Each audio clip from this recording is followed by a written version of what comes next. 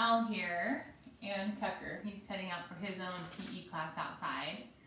Today we're going to do some skill work doing some underhand tossing to a target. So here's what we're going to use.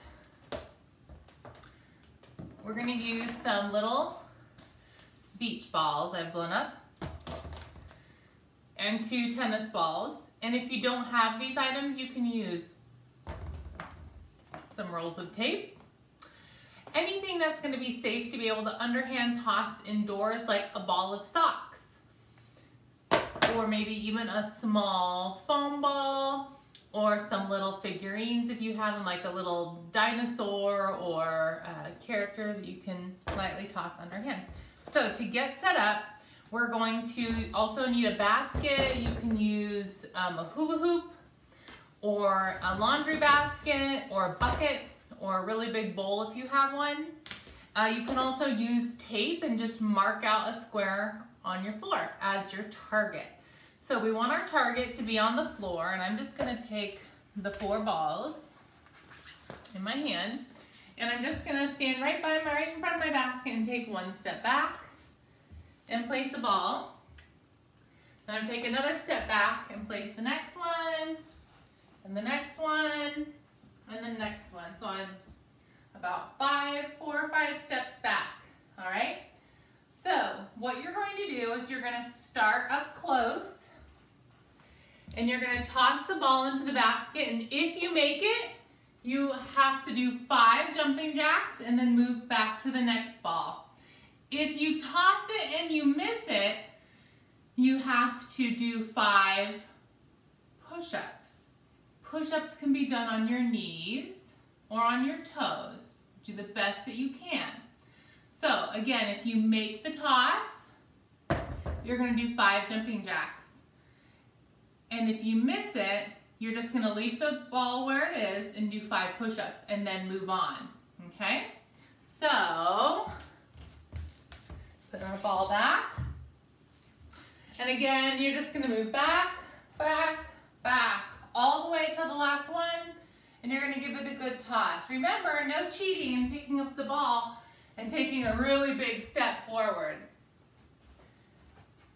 So some tips to remember when you're doing an underhand toss, you wanna take your ball, whatever you're using, your sock or your toy, and if you're right-handed, that means the leg that's by the ball and the opposite foot goes forward.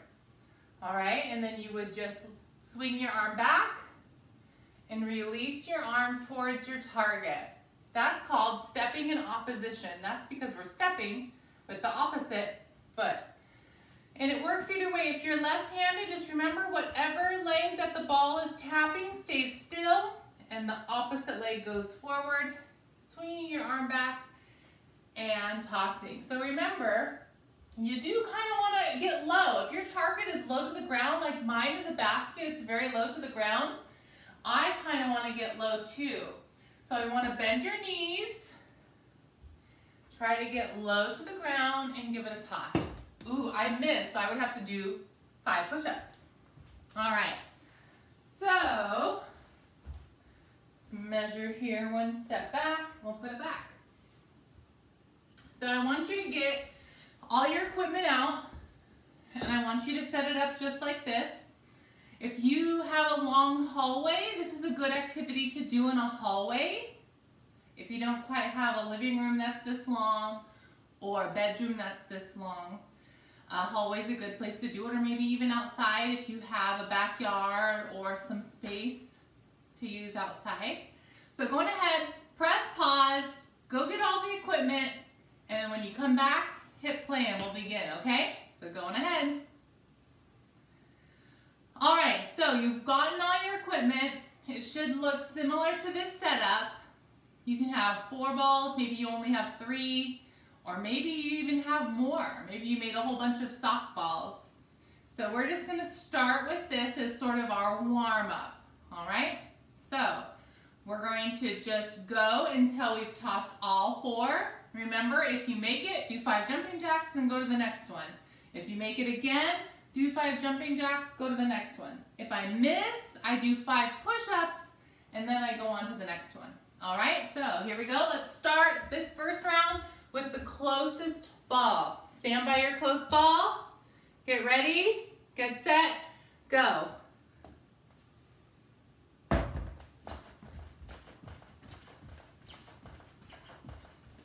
Next one.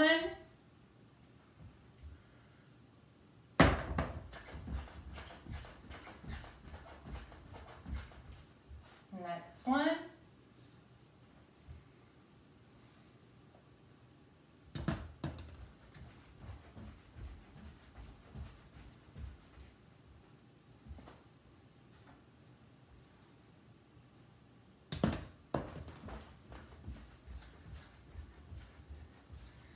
All right, so I went kind of fast and I didn't miss any my first round. So maybe you're still finishing up.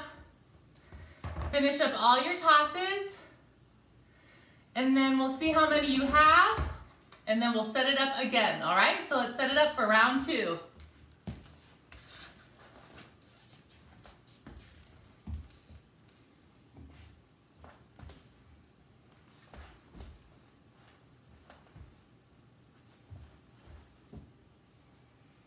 All right, for round two, once you get it all set up, we're gonna start from the farthest ball and work our way closer, all right? So don't forget, whatever hand has the ball, that leg that it taps stays still, okay? It stays back, all right? And that's how we're gonna underhand toss. We're gonna step in opposition and toss.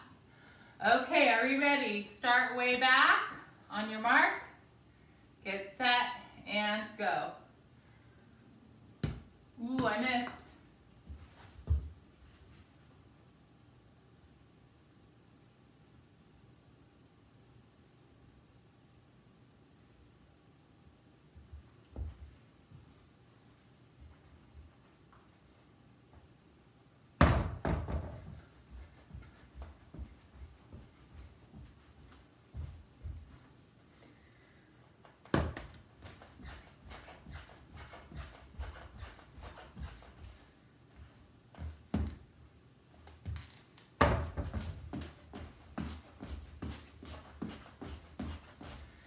End of round two, set it up again.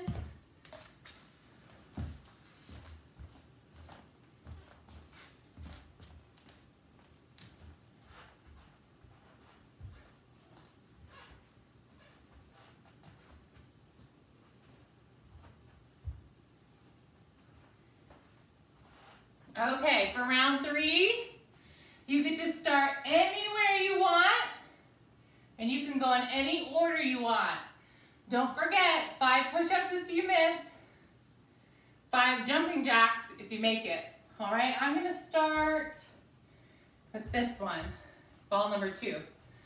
All right, on your mark, get set, go.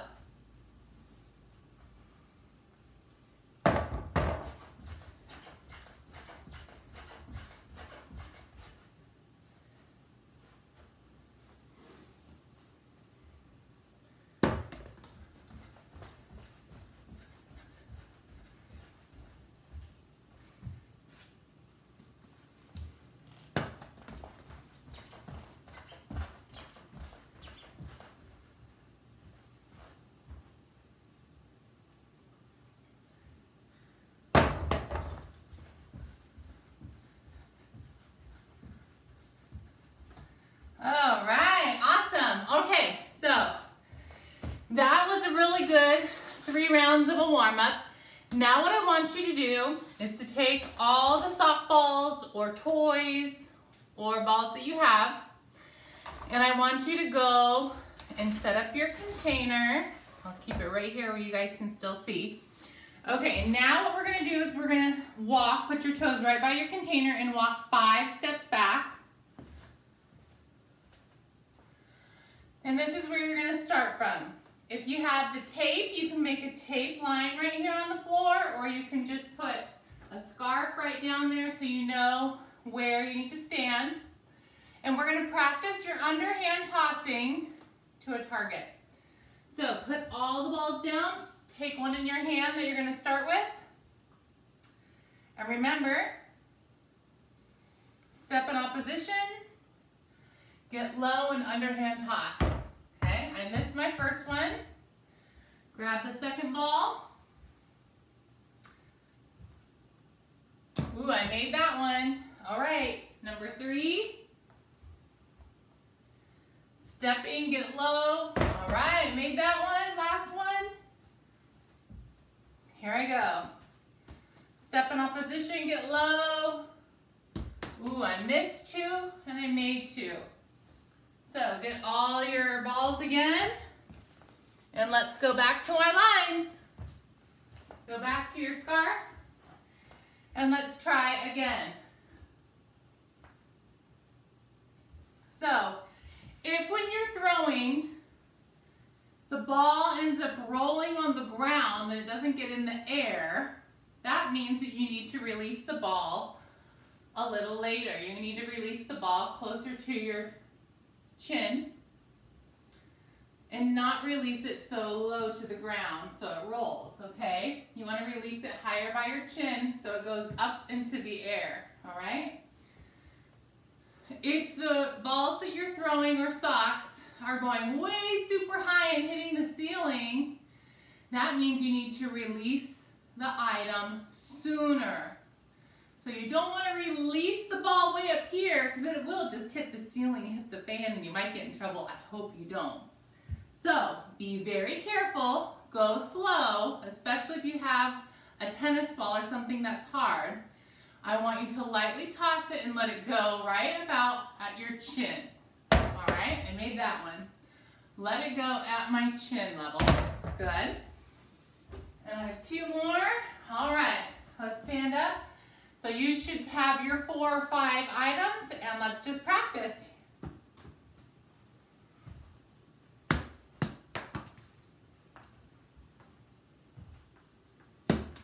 All right. Continue to practice and once you can make all the balls into your basket, all four or five into the basket on one try, awesome. Let me know how many steps back you got.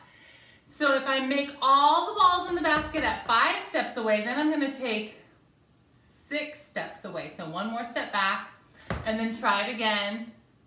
And if you make six steps back and you still get all the balls in the basket, take another step back. If you're at five steps away and you haven't been able to make all the balls in the basket, take one step closer. So now come only four steps away from the basket and give it a try. I want you to tell me in the comments how many steps away from the basket did you get all four in, all right? Can't wait to hear from you. Bye.